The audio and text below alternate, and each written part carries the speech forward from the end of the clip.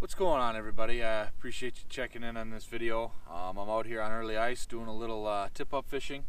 Uh, one of the things I wanted to talk about when it comes to tip-up fishing is how you set the hook.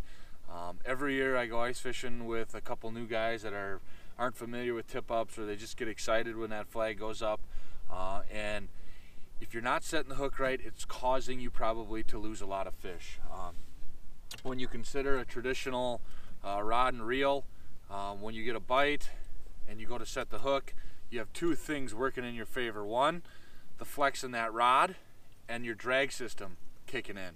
Um, if you're setting into a big fish, um, that drag system is going to kick in.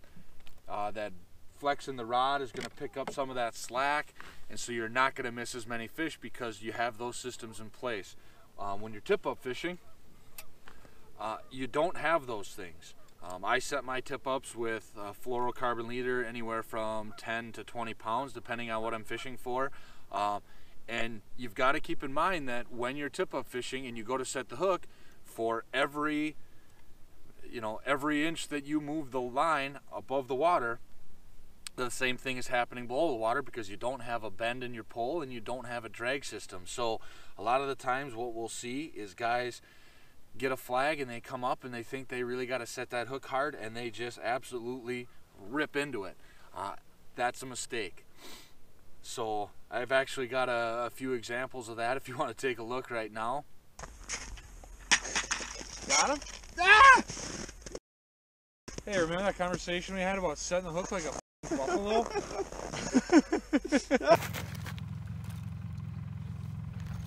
oh, he spooled you.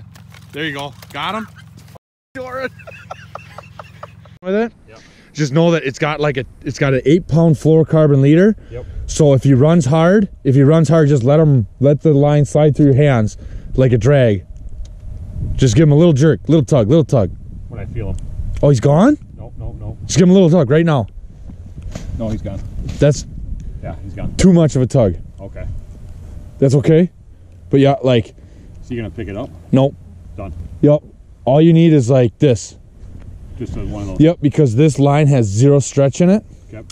So like if you think about like every inch you pull up here is an inch of pull down there. Got it.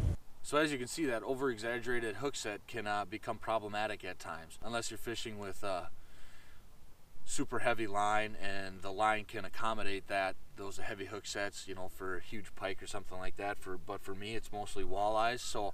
Uh, all you really need to do when that flag goes up is just give enough of a tug to set that hook.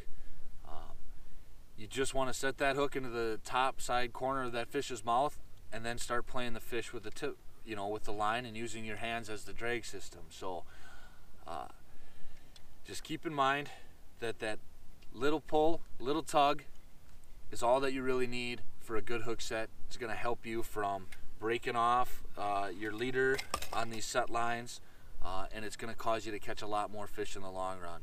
Um, so some of the biggest fish I'm going to catch this year through the ice I can almost guarantee are going to come on tip-ups and if I'm setting that hook right it's going to be that much more effective. So here's a little uh, hook set big fish montage to close out the video and uh, thanks for checking in. Oh yeah. Set up. Yeah, I'd say I'm gonna get, oh, got him. The one we've been looking for. Right there.